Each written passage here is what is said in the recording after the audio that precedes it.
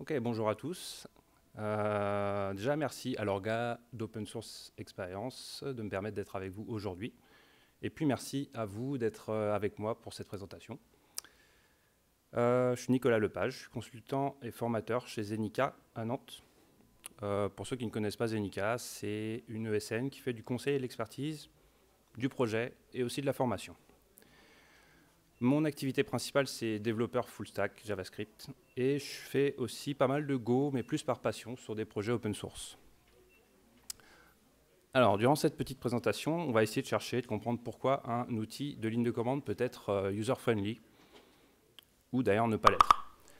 On va euh, s'appuyer notamment sur des exemples existants, connus de tout le monde, pour trouver des bonnes ou des mauvaises pratiques. Et puis, on va essayer de trouver d'autres idées pour être encore plus user-friendly.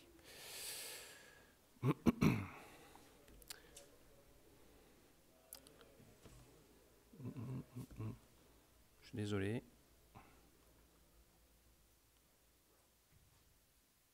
Ok, c'est bon. Donc petit disclaimer avant d'aller plus loin, euh, dans cette présentation ne seront pas abordés les outils hautement interactifs, euh, tels que les éditeurs de texte par exemple, comme Vim et Nano, ou les REPL, comme les clients de base de données, parce que bah, en fait c'est hors sujet pour ma présentation, c'est un domaine à part entière. Alors mes premières expériences de ligne de commande à moi, j'étais un petit développeur Java dans une grosse DSI. Et puis un jour, on m'a donné accès à des serveurs de recettes pour aller débugger des JVM qui étaient euh, en carafe.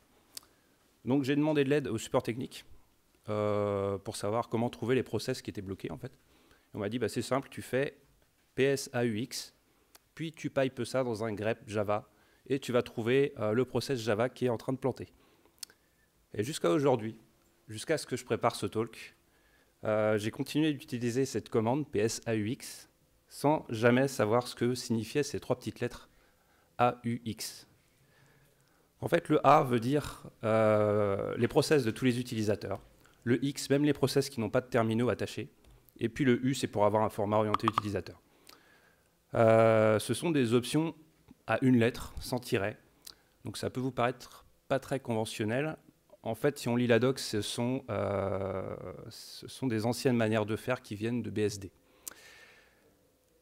Une bonne manière d'avoir des outils moins déroutants, peut-être plus intuitifs, en tout cas à l'heure actuelle, euh, c'est d'utiliser les conventions qui sont euh, les, celles des outils les plus répandus finalement. Et notamment bah, les conventions au niveau des options. donc les options, hein, ce sont les flags qu'on passe aux outils de ligne de commande pour modifier leur comportement. Déjà, il va être préférable d'avoir systématiquement des options longues. Donc les options longues sont des mots précédés par deux tirets, voire même plusieurs mots. Hein. Dans ces cas-là, ils sont séparés par un tiret. On va prendre un petit, exemple avec grep. Euh, si on veut faire une recherche, euh, donc en premier lieu en ignorant la casse, tiret ignore caisse, euh, en inversant le résultat, on va vouloir uniquement ce qui ne correspond pas à notre recherche, et puis tiret-count pour n'avoir finalement que le nombre de ces lignes. Donc on va chercher le nombre de lignes ne contenant pas needle dans stack.txt en ignorant la casse. Euh, bah, c'est déjà beaucoup plus clair qu'un PS AUX. On comprend très bien ce qui se passe, et d'ailleurs ça va être intéressant d'utiliser des options longues quand on écrit par exemple des scripts pour automatiser des choses. Comme ça les petits copains qui passent derrière pour maintenir les scripts, ils comprennent tout de suite qu'est-ce qui se passe.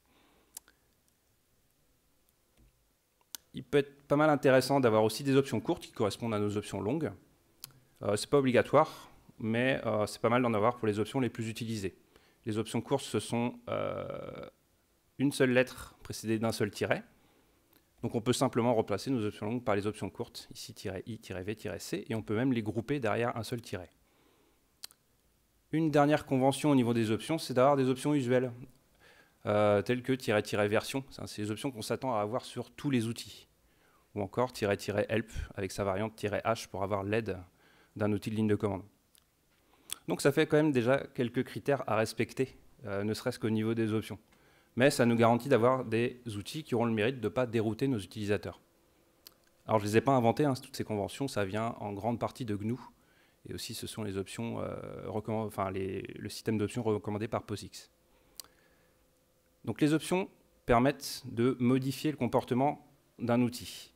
il y a un piège à éviter. On va prendre un petit exemple. Pacman, Pacman c'est le gestionnaire de paquets d'Arch Linux. Et il a la particularité d'utiliser les flags, donc tout ce qui est précédé d'un ou de tirets, comme des opérations. C'est comme ça qu'ils appellent ça dans la documentation.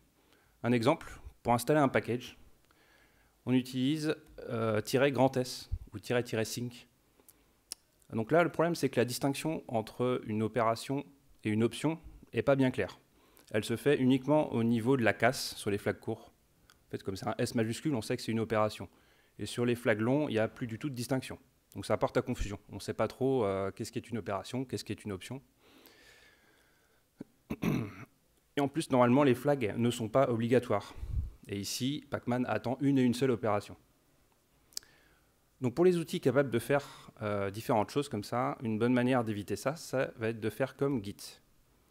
Git, on ne le présente plus. Euh, et il a un système de commandes. Donc si on veut afficher l'état d'un dépôt Git, on va utiliser la commande git status. Si on veut créer un nouveau commit, on va utiliser la commande git commit et on va potentiellement lui fournir des options en plus, -a-m. Donc déjà, la distinction, là, est plus claire entre les commandes et puis les options qui sont là pour donner des infos à nos commandes, pour modifier leur comportement, mais qui ne sont pas obligatoires. On peut pousser euh, plus loin, comme Docker, euh, Docker qui possède des groupes de commandes, par exemple Docker Image, euh, sous lequel se trouvent toutes les commandes qui permettent de manipuler les images. Et on peut aller encore plus loin. Si vous faites du Google Cloud, le CLI G-Cloud, il a une énorme hiérarchie euh, de groupes et de sous-groupes de commandes. Alors, on a parlé de Git, de ses commandes, status commit, mais il a aussi des défauts Git. Est-ce que euh, vous savez à quoi sert la commande git checkout? Bon, on va faire vite. Si on lit la documentation, Git Checkout sert à changer de branche ou à restaurer des fichiers de l'espace de travail. Donc là, problème, elle fait deux choses en fait, cette commande. En plus, le nom n'est pas clair, sans parler de la confusion avec SVN Checkout qui fait encore autre chose. Euh, on va dire que c'est un pattern à éviter, le pattern de la commande fourre-tout. Hein, une commande, elle doit avoir un nom clair qui permet de comprendre ce qu'elle fait, et puis elle doit avoir un but précis. Sinon, c'est qu'il faut découper cette commande en deux, en trois. Et d'ailleurs, ça a été corrigé hein, dans Git, dans les dernières versions. On a maintenant Git Switch qui change de branche et Git Restore qui restaure des fichiers sur l'espace de travail. Alors, je ne vous avais pas dit, mais moi-même, j'ai commencé à développer mon petit outil de ligne de commande. Il s'appelle Caption et il permet de créer rapidement des Mimcats.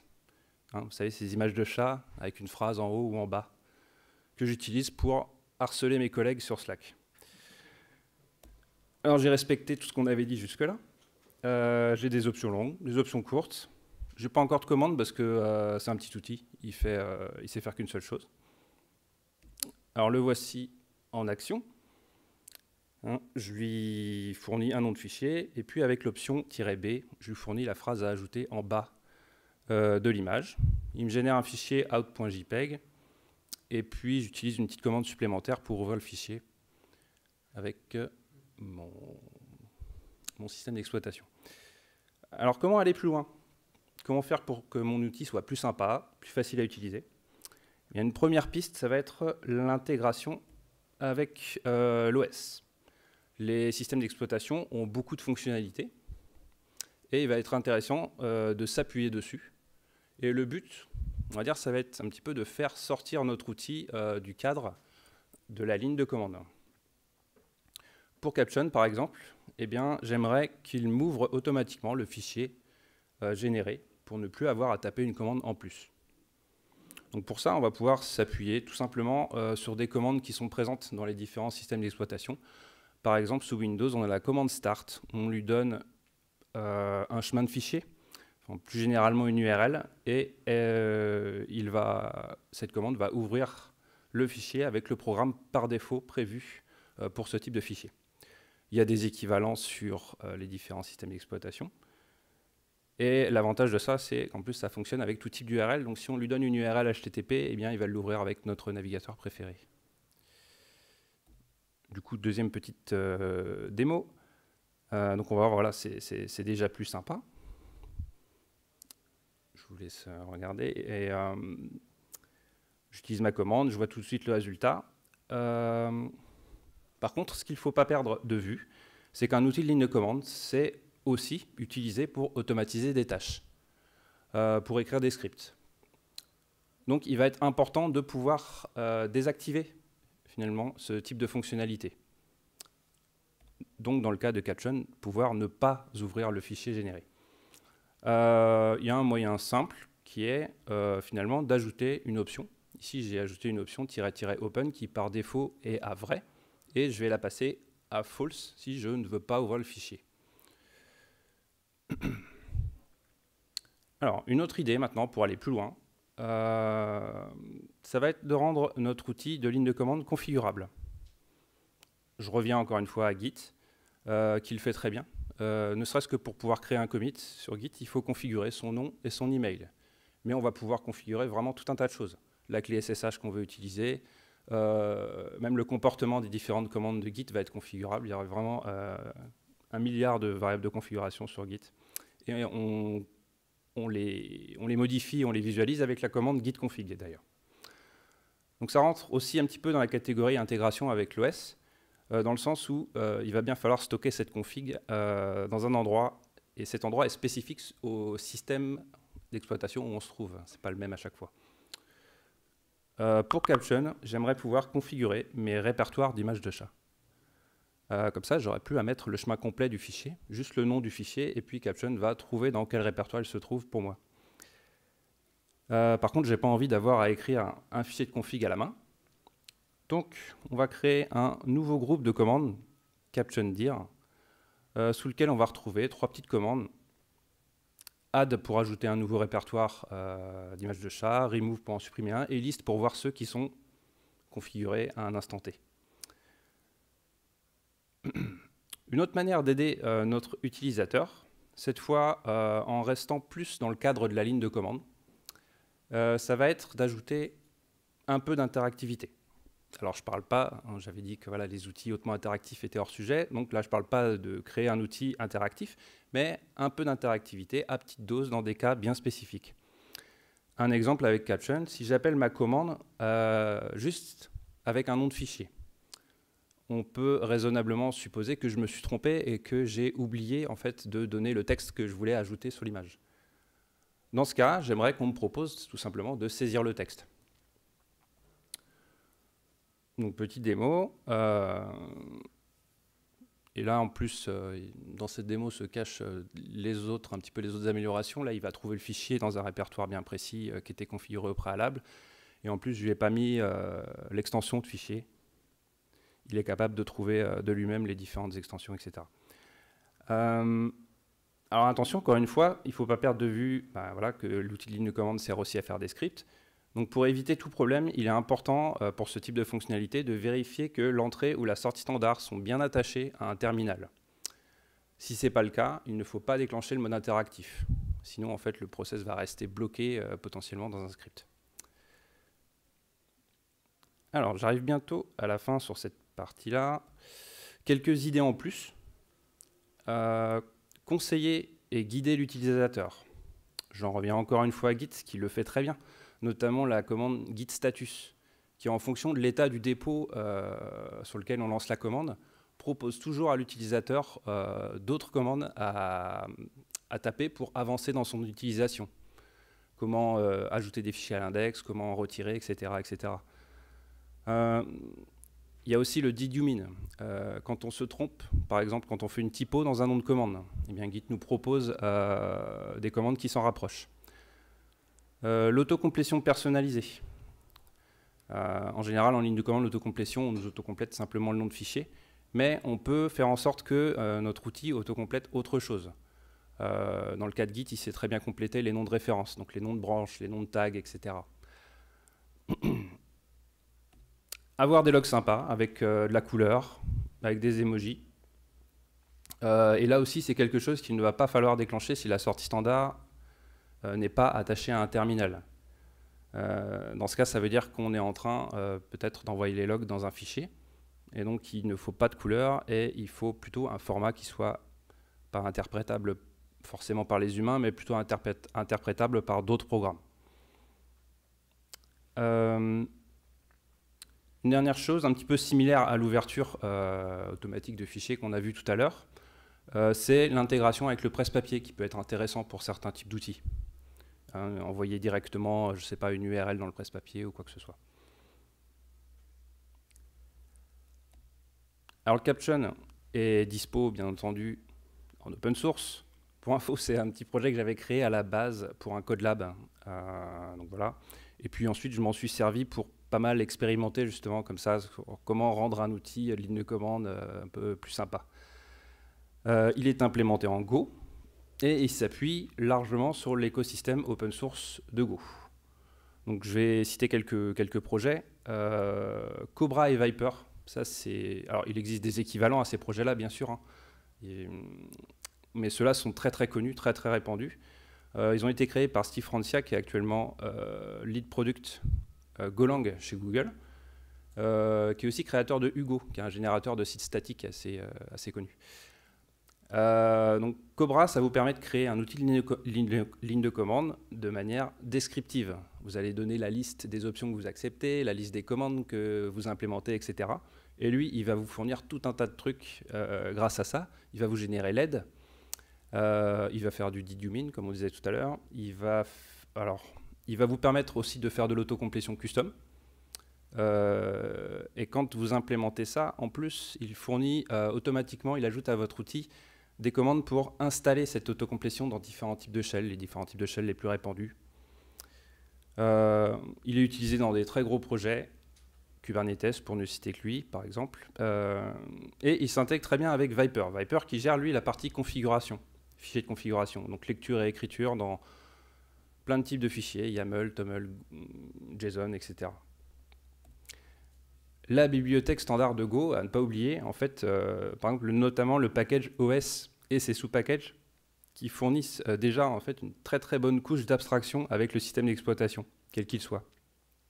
Un petit exemple, euh, les différents dossiers utilisateurs. Il nous fournit des fonctions pour trouver le home de l'utilisateur, son dossier de cache, son dossier ou de config, on va stocker ses fichiers de config, etc. Et puis beaucoup, beaucoup de petites librairies qui sont beaucoup plus spécialisées finalement euh, ISETTI qui permet de tester si l'entrée ou la sortie standard sont euh, liées à des terminaux. Mais c'est une lib, euh, elle a l'avantage de fonctionner sur n'importe quel système d'exploitation. Je crois même que ça supporte du Cygwin, par exemple. Euh, ils ont poussé le bouchon assez loin. oui, j'avais parlé d'intégration avec le presse-papier. voilà, il existe des libs qui sont vraiment très très poussés là-dessus. Celle-ci m'a l'air très intéressante. C'est pas celle qui est la plus euh, connue, qui est la plus de stars sur GitHub, mais euh, elle a l'air d'avoir vraiment plein de features. Elle est même capable d'implémenter de la surveillance de presse-papier, c'est-à-dire que si quelque chose est collé dans le presse-papier, elle est tout de suite notifiée, etc. On peut vraiment faire des choses très évoluées avec ça finalement. Euh, bien entendu, je parle beaucoup de Go là, mais on peut faire la même chose avec les autres langages. Hein. Là, j'ai mis quelques exemples de librairies, de bibliothèques similaire à Cobra, euh, mais pour euh, voilà, d'autres langages, et puis il en existe encore bien d'autres et bien d'autres. Euh, voilà quelques références. Et puis bah, j'en ai terminé. Les slides sont dispo voilà, à cette URL. Pour conclure, moi j'aimerais vous donner mon PS AUX idéal. Euh, j'aimerais bien avoir finalement une commande process, parce que PS finalement c'est pour process, avec une sous-commande list, process list, et puis peut-être un tiret-tiret all users, et puis un tiret-tiret filter Java pour éviter d'avoir un pipe dans un grep, etc. Voilà, merci pour votre attention.